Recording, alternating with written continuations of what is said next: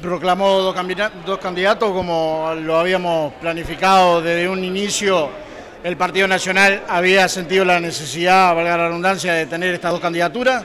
En primer lugar, la, candidatura natural del ingeniero Guillermo López por los votos alcanzados por la convención en las, elecciones internas de, de junio. Esto queda demostrado que para acceder a un cargo como la precandidatura, o en este caso la candidatura, se necesitan convencionales, esos convencionales te los da la interna.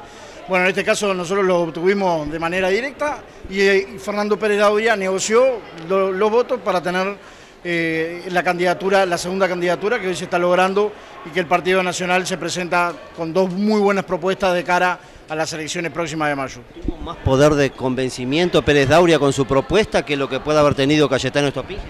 Yo creo que jugar en el Partido Nacional eh, en contra de los compañeros juega en contra, valga la redundancia, creo que haberse puesto en contra de la gestión departamental, en la cual él integró, me estoy refiriendo al ex alcalde de Sarandí, eh, me parece que le jugó en contra, me parece que no, sé qué es lo que persigue en todo esto, creo que en pocos días habrá novedades de, algún pase de partido político porque eh, esto no merece mucho análisis.